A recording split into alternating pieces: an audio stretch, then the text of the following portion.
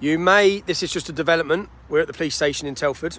Um, you may have been, you may have seen news reports that there was another arson attack last night in Telford. That arson attack was my car, yeah?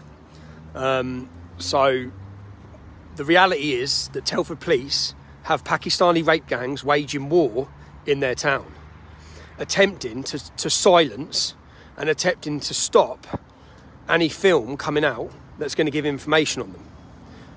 The problem we have is that the police probably don't want that film to come out either, which is why people have been left in vulnerable positions, which is why I don't have much confidence.